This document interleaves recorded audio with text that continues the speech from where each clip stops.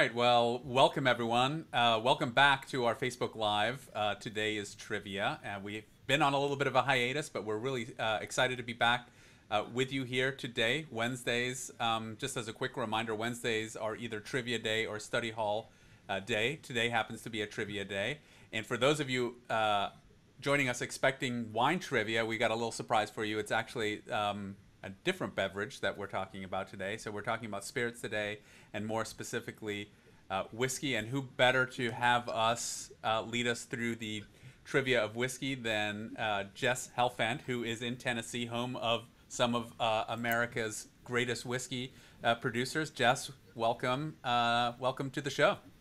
Thank you so much. So I will just remind everyone how it works in case you um, have forgotten during the hiatus or you're just joining us uh, for the first time for our, our trivia. So what you're going to do is Jess is going to ask uh, questions that are going to be some uh, selections for you to choose from. You put your answers into the comment uh, section. We will play some countdown music while uh, you're doing that. I will reveal, uh, or I will tell Jess what the majority of the answers are, and then Jess will reveal. Um, and then we'll move on to the next question. So the more people who participate, the more fun it is. So I'm going to hand it over to you, Jess, uh, and bring up your slide deck. Great. Thanks so much, Christian. All right. So, as Chris said, it is all about spirits and all about whiskey today. So, let's start with one here. So, is it spelled whiskey with an E or whiskey without an E in Scotland, Canada, or Japan? You can just say E or no E in your comments.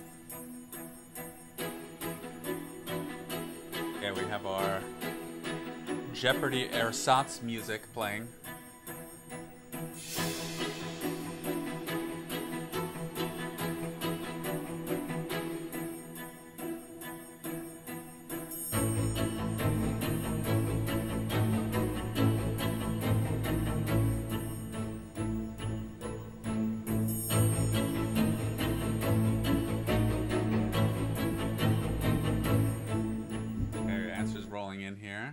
Okay, we have some, we have consensus, Jess, and um, everyone who's answered so far says no E. Y'all are correct. It is whiskey with no E. The general rule of thumb if the country's name has an E in it, then so does the spelling of whiskey. So, Ireland in the United States, it's typically spelt with an E, although there are exceptions. So, Old Forester, Maker's Mark, both American whiskeys, neither use an E as a way of paying homage to their Scottish roots. All right, next question. Which of the following is not a requirement for a spirit to be recognized as whiskey? made from 100% fermented grain, distilled below 190 proof, aged in oak for a minimum of two years, or bottled at a minimum of 80 proof.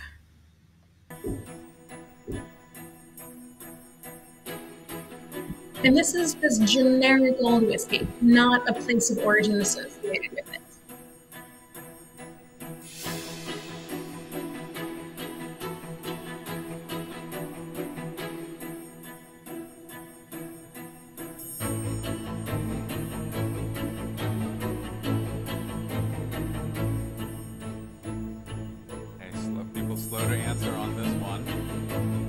question. A, Usually indicates a yeah, tougher question. A little nitty gritty here.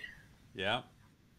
All right. Okay. Shall we? All right. We got we got uh, Joanne uh, and Kelly putting uh, putting in their answers. So we'll wait for uh, maybe one more person until we have three answers. So go if you're sitting on the fence. There we go. Shirley just uh, put in her answer. So we have Kelly saying 100 100 uh, percent fermented grain.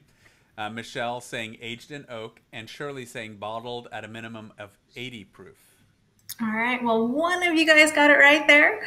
Um, the answer is aging in oak for two years. So to be generic whiskey, it simply has to be put into an oak container. So no rules about how long until we get into whiskeys with more country specificity. But good job. That was a toughie.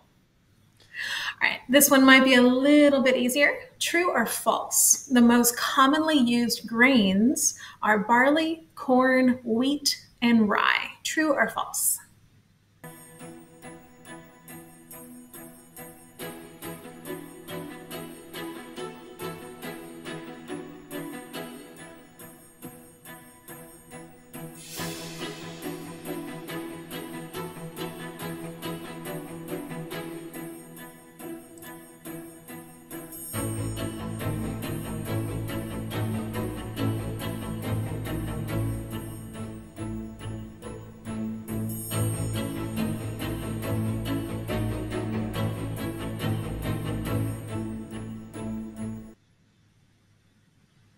So we have Kelly, Michelle, Shirley, and uh, Carla, as well as uh, Jonah and Alvaro, all answering true on this one.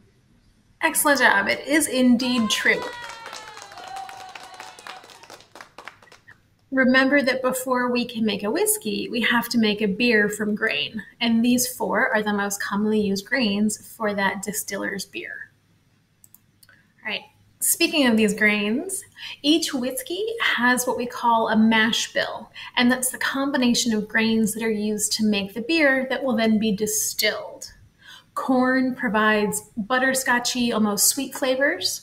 Barley provides flavors of cereals. Wheat gives us that smooth texture and nuttiness. What does rye give us? Peppercorn and allspice, marzipan and almond, or caramel and molasses.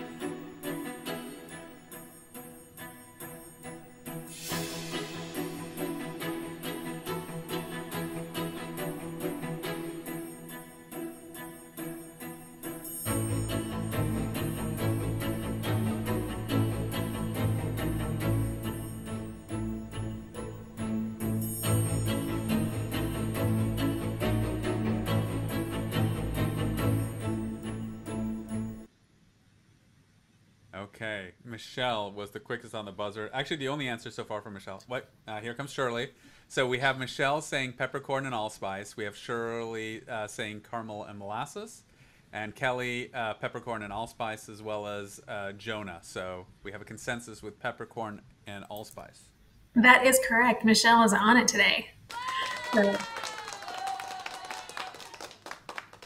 rye is generally described as spicy, hot, bold, peppery, and sometimes even herbal.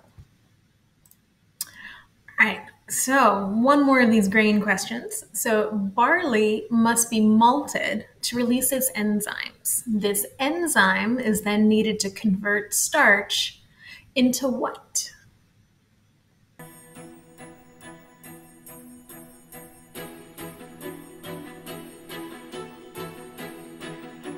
Again, a little technical on this question. But if we think about the fact that first we have to ferment something, we know what we need in order to have a fermentation kickoff. That's one of those things that we to have. Fill in the blank ones are, are always a little bit more challenging. Yep. But I have a feeling we have some smart, smart people here, or whiskey lovers. Michelle, we're counting on you. Right, uh, so Michelle has locked in her answer. Let's see if we get a couple of others uh, to to go along with that. Um, great, Kelly's uh, Kelly's there. One more answer. Once we have three, okay. And Carla, all agreeing uh, that it is sugar. Y'all are absolutely right. It is sugar. The process of malting is where barley is placed in a warm, damp room and the grains are allowed to sprout and grow. And as the grains grow, they release chemical enzymes. After a couple days of growth, we heat it all up and essentially killing the wee baby grains. But at that point, we have enough enzyme there to, um, when we crush up the grains, mix it with some uh, water, we have enzymes released that convert all of our wonderful starches into sugar then voila, we have fermentable sugars and yeast. Toss that in there, and then we can make a distiller's beer. So, you might have heard about peat being used in the malting process. It is used to add a smoky, aromatic note to whiskeys. What is peat? Is it dried grass, decaying wetland vegetation, sea kelp, or charred oak staves.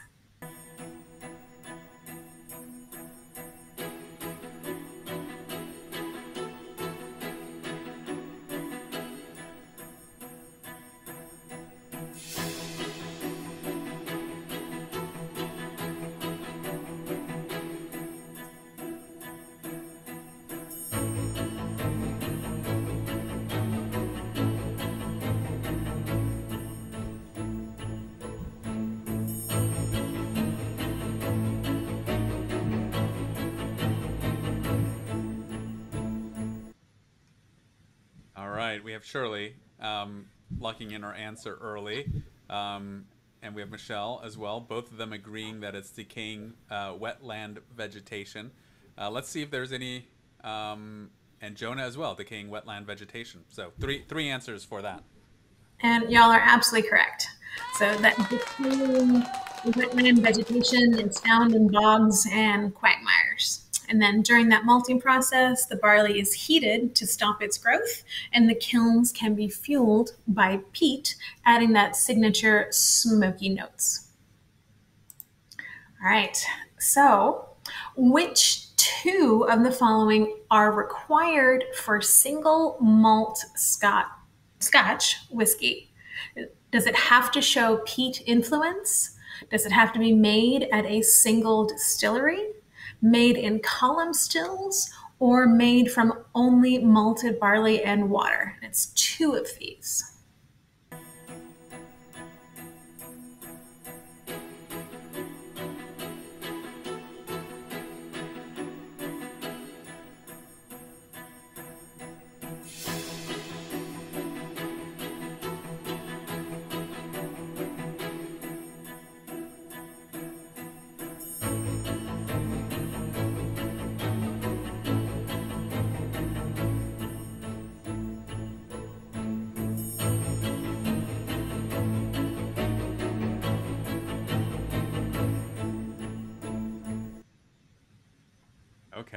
All right. Well, we have a lot of people tackling this one.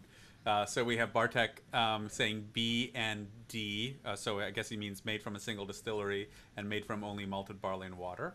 Um, we have Michelle saying a single distillery made only from malted uh, barley.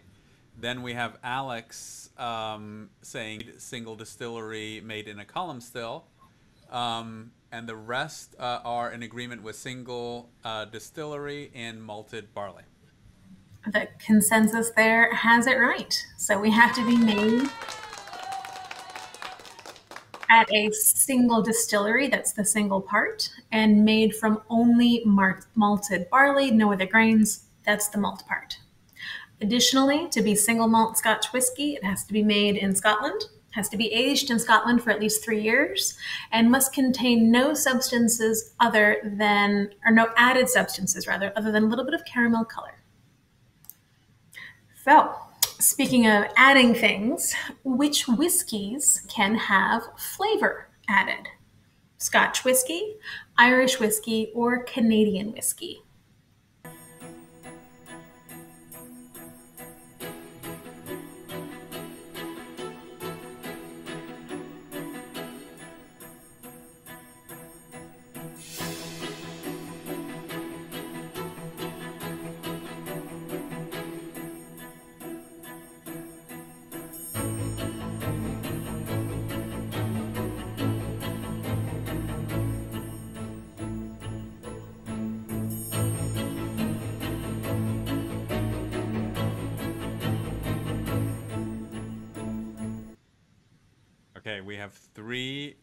Answers, four answers now, all uh, with the consensus of Canada or Canadian whiskey. Um, and that is correct. The answer is indeed Canadian whiskey.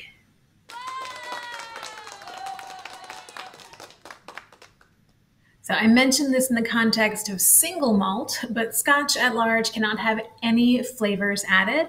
Neither can Irish whiskey. And flavored whiskeys are very, very popular these days, and the labeling laws get pretty complicated.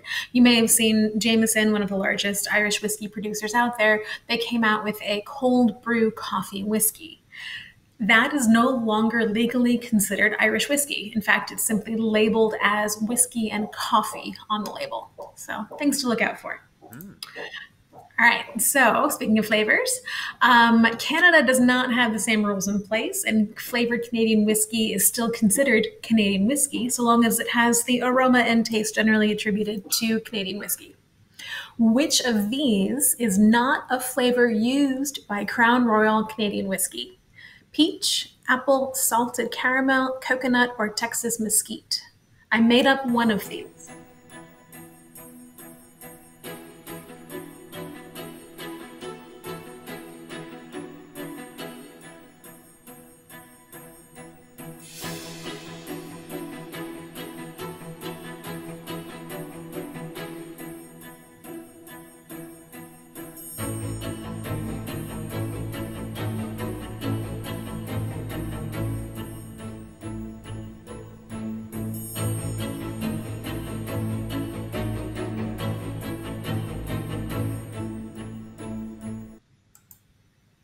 So we have um, two answers that people are choosing. One is coconut, and the other one is Texas mesquite. So, so the one I made up is coconut.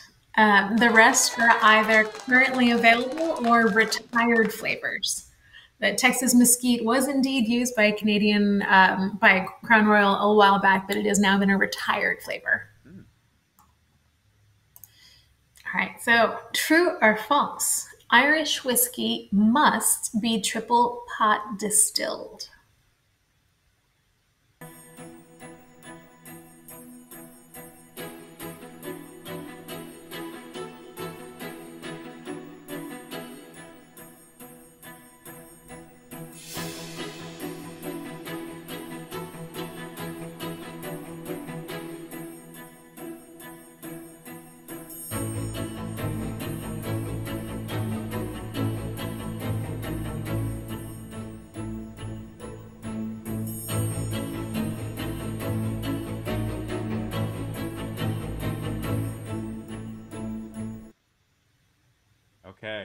Have two answers so far. Let's get that third one in there. Um, Kelly uh, answering first, and she is answering um, true. No other takers so far, and Shirley also answering true. So we have two two votes for true. Any dissenters? Anyone saying false? Yes, we have Michelle, uh, who we can always count on, and she comes through with false. Well, it is indeed false, um, but it's an understandable confusion because Ireland is very closely associated with triple pot distillation because it's used by the pillars of the industry there, namely Midleton and Bushmills distilleries. But it is not actually required. So good job, Michelle. All right, changing gears a little bit. So, what year was the first commercial whiskey distillery established in Japan?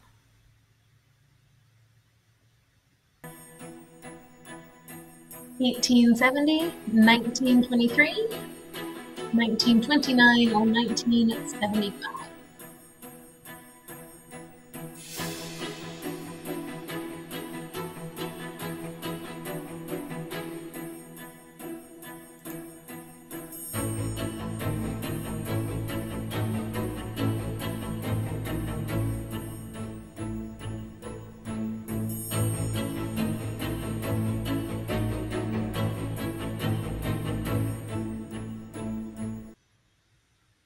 We have Kelly coming in with uh, 1870, Michelle coming in with 1975, and Shirley agreeing with Kelly uh, 1870. All right, the answer is in the middle. It's going to be 1923. So, um, 1870 distillation begins in Japan. 1923, Yamazaki Distillery opens its doors. And 1929 was the first Japanese single malt Scotch, excuse me, single malt whiskey was sold. I'm sure something notable happened in 1975, but I just threw that number in there. All right, friends. Um, if it is labeled as bourbon, a whiskey may be made where? Anywhere in the world, anywhere in the US, anywhere in the southern US, or it must be made in Kentucky.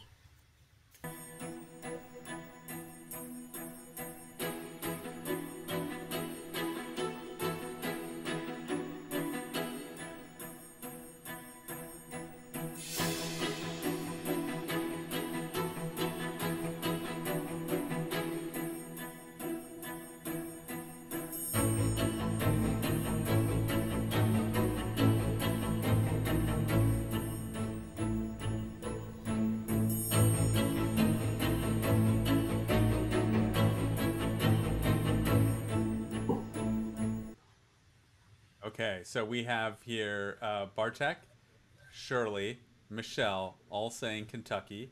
We have Kelly, uh, Jonah, and Alex saying the U.S. All right, well, Kelly, Jonah, and Alex have it right. Anywhere in the U.S., so long as it meets some other requirements.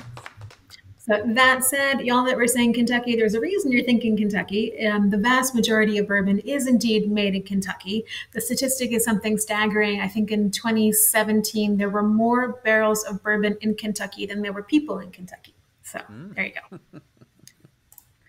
All right, so bourbon um, has rules to it. It must be made from a mash bill that is dominated by corn.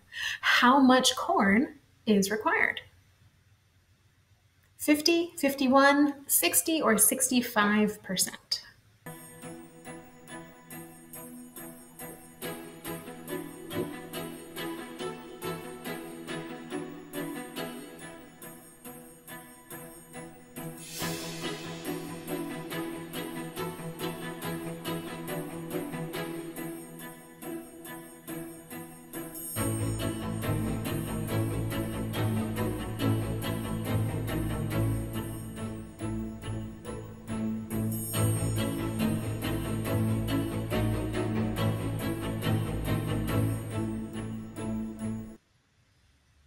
here we have uh, consensus. Bartek, Kelly, Jonah, Alex, and Michelle all saying 51%. Y'all are correct. Uh, bourbon gets the butterscotch flavor from corn. So, all right. A handful of next questions are all about bourbon, in case you couldn't tell. Uh, but bourbon must be aged in new oak. the barrel and the aging process can create up to how much of the bourbon's final flavor 30 to 40%, 40 to 50, 50 to 60, or 60 to 70%.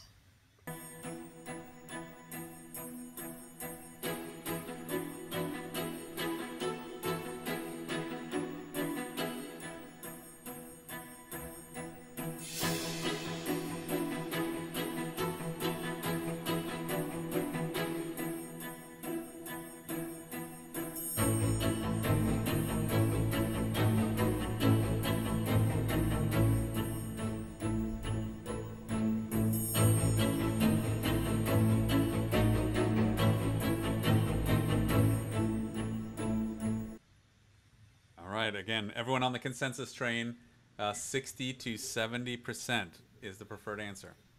That is absolutely correct. So, aside from the grain and the yeast characteristics, the majority of the flavors associated with bourbon come from the barrel.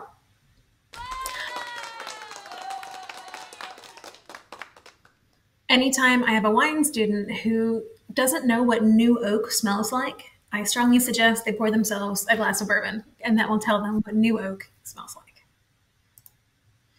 All right, so during the aging process, when does bourbon acquire the most oak character? The First four years, between five and 10 years, or 10 or more years?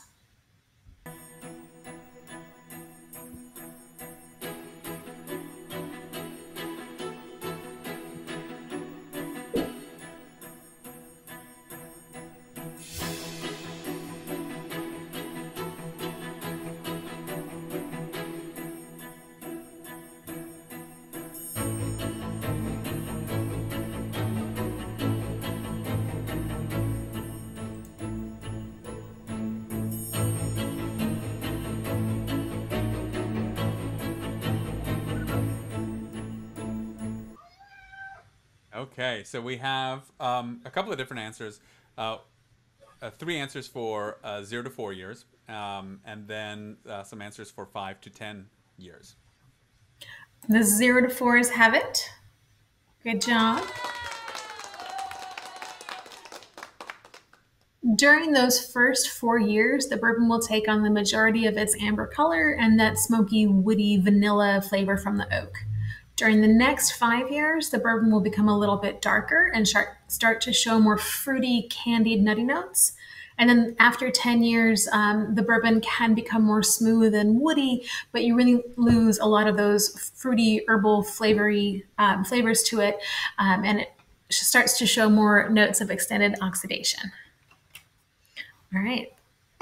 So let's move on here. So if labeled as Kentucky bourbon, the whiskey must be aged for at least how many year or years in Kentucky? One, two, three, or four?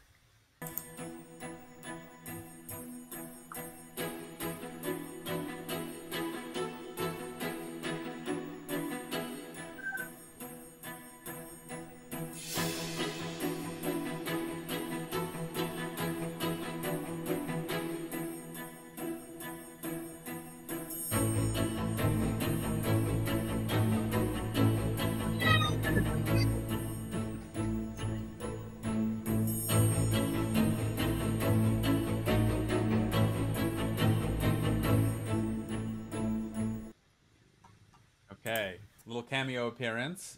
Yeah, um, Mr. Darcy wanted to play too. Sorry, y'all. A, a, whis- a whiskey lover as well, maybe. Um, maybe we we have answers coming here again. Consensus: Kelly, uh, Michelle, Alex, Shirley, um, Jonah, all saying two years. It is, in fact, only one year. That is all that is required for it to be Kentucky bourbon. Mm but if we we did, if we label it as straight bourbon, though, the whiskey must be aged for at least how many years? One, two, three, or four. Okay, team. Here's a shot at redemption.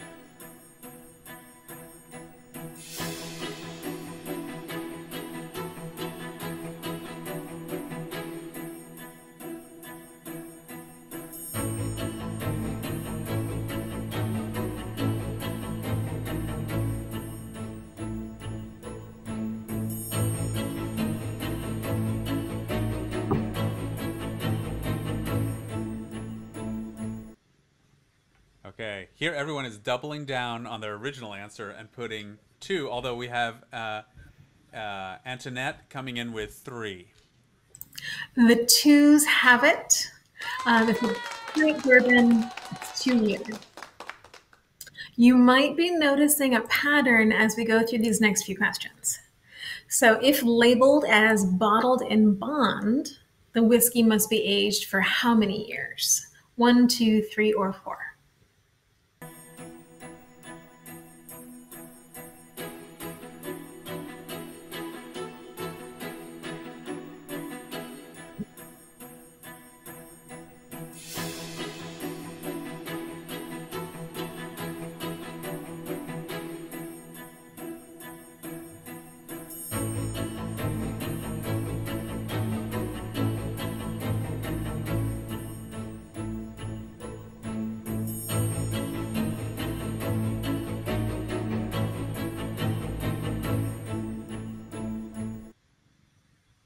Okay, uh, here we have uh, four is so far the um, answer selected. And that is the right answer. Excellent job, y'all.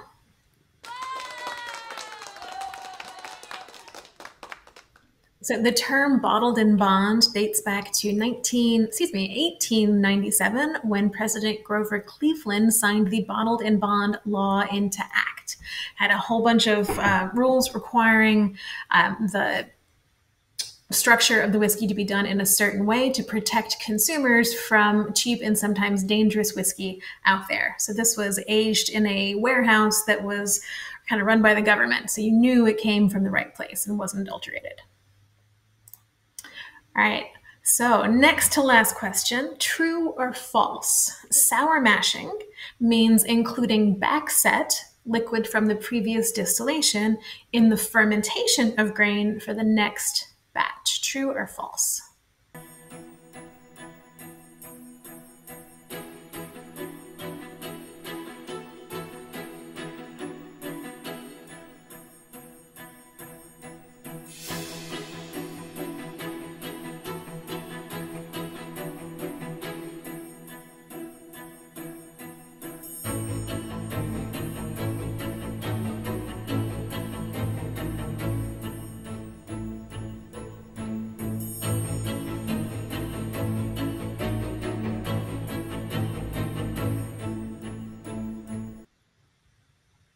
Okay, so we have the answers coming in here, um, all as true so far.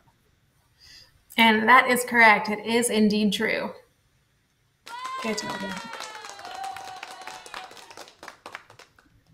So, sour mashing is a common phrase on American whiskey bottles, and virtually all major bourbon and Tennessee whiskey distillers use this technique, even though only a portion of them will actually say sour mash on their on their marketing materials. But it's done very commonly. Why? Why are we doing this? Last question. Why sour mash? Is this to create a consistent flavor profile, to regulate the pH, to provide nutrients to the yeast? to reduce water use, or all of the above?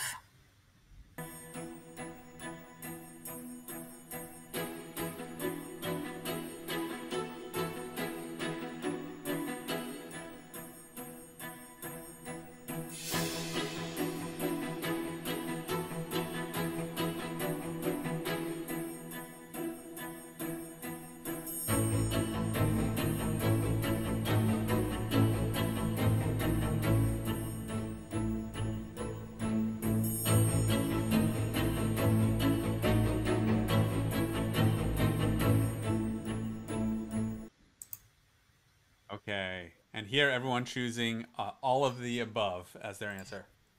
And that is absolutely correct. All of these, all of these reasons. That so one more applause for everyone. All right. Oh, excellent work.